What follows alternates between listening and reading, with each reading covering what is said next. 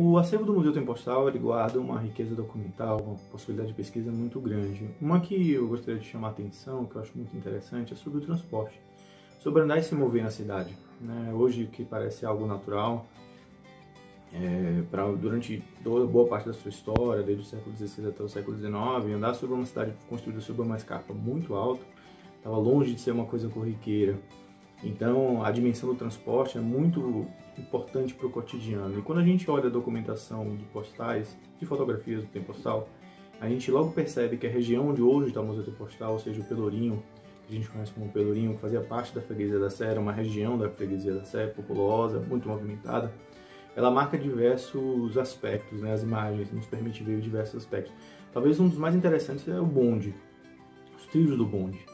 A região que a gente conhece hoje como Pelourinho, ela era abastecida historicamente por dois grandes circuitos de bonde. Primeiro é da, linha, da empresa Trilhos Centrais, fundada na década de 70, pelos, ligada aos, à família Ariane, que é, foi uma das primeiras famílias de, ligadas e que explorou o sistema de transporte coletivo na cidade. Ela tinha uma concessão para construir né, matadouro público que permitia ela explorar o serviço de linhas de, de bonde né, nessa região. Que região é essa? é a região que a gente conhece hoje como a Baixa dos Sapateiros, a Rua da Vala. Essa grande, digamos, via conectava o centro histórico, que a gente conhece como centro histórico, é o centro, o núcleo urbano original da cidade, com a região, as regiões mais internas, Brota, Soledade, né, que eram mais apartadas, mas pelos sistemas de bonde da trilhos centrais podia se conectar de uma maneira mais regular para quem podia pagar essa passagem de, ônibus, de, de bonde. Perdão. Bom, quando a gente pensa numa outra região do Pelourinho, a gente vai ver a, a, os trilhos e a, a, chegada da linha circular, da Companhia Circular de Carros da Bahia, que é de, de, longe a empresa mais importante da história do bonde na cidade. Fundada ali por volta entre 1882 e 1886, ela vai é, promover na sua implantação uma série de mudanças nessa região, a gente conhece hoje como a região da, do Pelourinho, né, do centro histórico. Primeiro pelas pelas obras que ela praticou, né, necessidade que ela tinha de abrir vias, já que a cidade já era explorada por outras companhias. É, ela vai, por exemplo, destruir uma cárdia né, que separava o Largo do Terreiro de Jesus da rua, né, que hoje, onde hoje está a Praça da Sé. Ela vai construir linhas de, de, de bondes na própria região da, do Largo do Terreiro. Então, em diversas imagens a gente consegue ver esses bondes, essas linhas ocupando. Mas por que, que isso é importante? Por vários aspectos. Talvez um dos mais interessantes seja a própria dinâmica dessa região do Pelourinho. Ela já era bastante ocupada. Ela tinha várias formas de se andar e se locomover.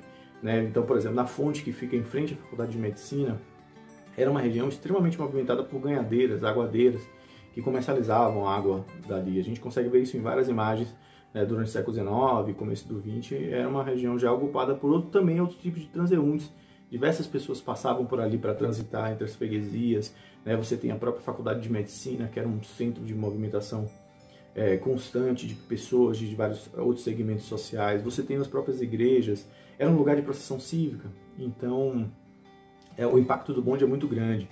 Pesquisando para os livros, eu encontrei, por exemplo, várias situações assim corriqueiras na época que mostram né, esse, essa presença do, do bonde. Por exemplo, eu lembro de um acidente em 1890, um guarda chamado Cornélio, que ele é imprensado na parede, na passagem do bonde, exatamente naquela região ali entre a catedral e a rua que hoje, né, a, tá a Praça da Sé.